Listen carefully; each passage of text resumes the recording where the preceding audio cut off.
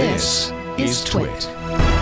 Hey, Megan and Leo. I love the episode of iOS Today where the focus was security. What are your thoughts on Lifelock?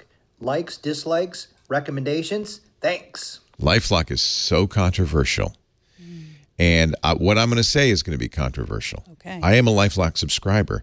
And by the way, as soon as the Equifax breach happened, I signed up Lisa and Michael for LifeLock as well. It's not cheap. It's expensive.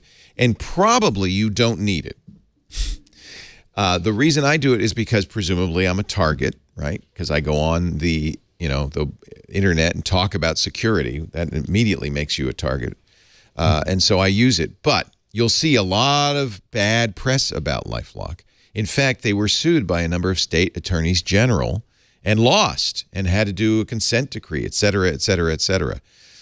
Uh, there are a couple of things at play here, though. Remember the politics of this. LifeLock started by putting fraud alerts on all of the credit reporting agencies. We know fraud alerts work and they're good, but the credit reporting agencies hate them because it, it means, means they can't make money on you. They can't sell your information to companies trying to give you credit card offers, among other things. So they don't like fraud alerts. So they, they went after LifeLock, in my opinion, precisely because of this, and they got LifeLock to stop doing it with these lawsuits with the attorneys general, state attorneys general. And then the state attorneys general said you can't claim certain things. Remember, LifeLock was the company where the CEO, foolishly I might add, went around with his, his he put his social security number on billboards and on television and radio ads and said hack me, and he got hacked many, many, many, many times. It was a very bad idea. So let's talk about today's LifeLock, which is very different than the LifeLock I first subscribed to because that was that was effective putting fraud alerts, but they got stopped from doing that because the credit agencies. Now you can do it by hand. In fact, you you may want to do that. Put fraud alerts on all your accounts. It, it makes it hard to get credit because you have to unlock the fraud alert.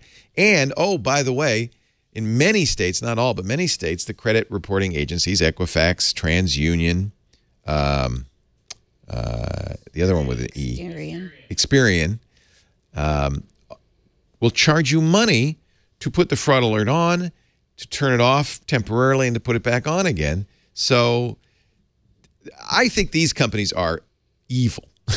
Credit reporting agencies. I understand they're a necessary evil because there has to be some way for a, a lender to verify that you're good for it, right? And so that's why they exist. But they really don't exist uh, for you and and they don't like LifeLock at all because it gets in their way, and they've been very aggressively pursuing LifeLock. What LifeLock does now, so let's talk about what they do now, is they they realize that well, you know, we we've now been prevented from doing the most effective thing, so we're going to try credit monitoring, and they do two things really: credit monitoring or your account monitoring for you, and they will do. Um, uh, it's basically insurance. They'll help you if you do get your uh, identity stolen it's basically insurance. They'll help you get it back. You're you're getting you know a, a million dollars worth of remediation, that kind of thing. Uh, but let's talk about the monitoring. Monitoring is of maybe dubious value. Um, it's up. You'll have to think about this. What it does is it keeps an eye on your all your personal information.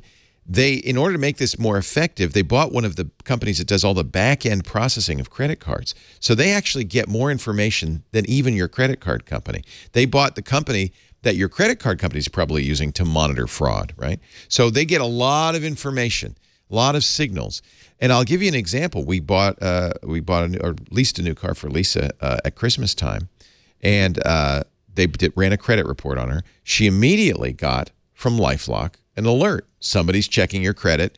So it really does work, and it was it was that's great to know because if you get that and you didn't apply for a loan, that would be a big red flag. So I think that's useful.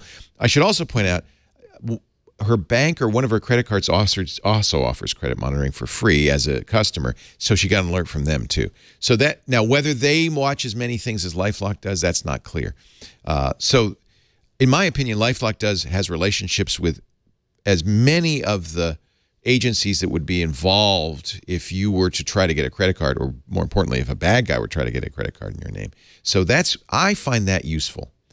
Uh, but you have to be the judge of it. And then the secondary side of it, which is they help you remediate your credit, I think many people would find that useful.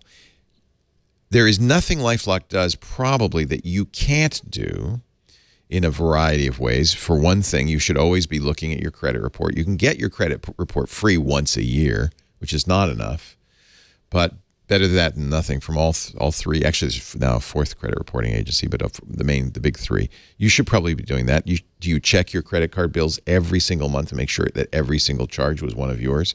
You should be doing that. These are all things you could do that would give you some some of the most of the same benefits for free of LifeLock. I choose to use LifeLock. I believe in LifeLock, and I do believe that a lot of what you're going to read, the negative press you're going to read uh, about LifeLock, was really generated by the credit reporting agencies who didn't like this company because it costs them money. And so when you, I feel like I get free credit monitoring for all the hacks that I've been a part of, like, Right. you know, from Target and Equifax. And is there some kind of standard on what cre- credit monitoring is, or is it just like a vague term that people So here's? PC guy in the chat room saying, "Well, LifeLock doesn't monitor all transactions. They say that in their disclaimer. Yeah, they have to. You know what transactions they don't monitor? Cash. so uh, they can't. No one can.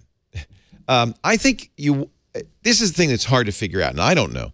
You want some? You're right. You can get credit monitoring in a variety of ways for free. Equifax will give it to you for free. I'm not sure I would do a deal with Equifax, but I'm not sure I would trust them by doing it with a third party that doesn't make money selling your your information, LifeLock, um, uh, you're I think you're you're maximizing the signals you're getting. See, you can ask your bank or your credit card to do that. Discover Card says, "Yeah, we do free credit card monitoring." But do we know if they see as many things as LifeLock? Do we know how they do that?